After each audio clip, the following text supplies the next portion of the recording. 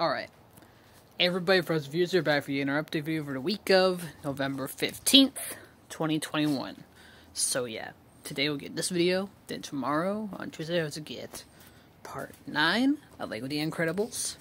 Then on Wednesday, I also get part 10 of LEGO Incredibles. Then on Thursday, I also get part 11 of LEGO Incredibles. And then on Friday, I also be getting part 12 of LEGO Incredibles.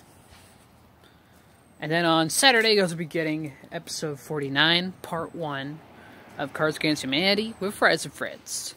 So, yeah. Cards Against Humanity is back for the time being. Just because we haven't been recording other stuff yet. So, yeah. Um. Okay, so, alright, last night, uh, yeah, as of yesterday, all the way up to midnight. I finished uh, Lego Incredibles. I 100%ed it. I did it. I went from 86% to now to, to, to 100%. I didn't get all the trophies. I just wanted to, like, you know, like, fully 100% the game, which is great. And this is the second modern Lego game that I have 100%ed now.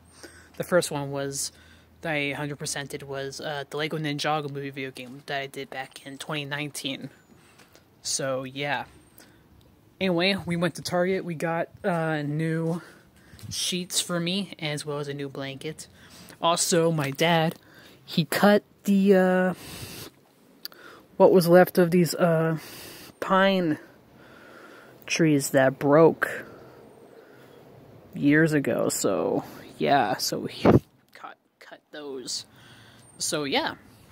And also we ordered my 3D printed masks as well as uh, two games, which is Lego the Lego Movie 2 video game and Tearaway Unfolded. So yeah, can't wait for those to arrive in the mail. So yeah, anyway, I'm going to end this update video here. So yeah, bye-bye.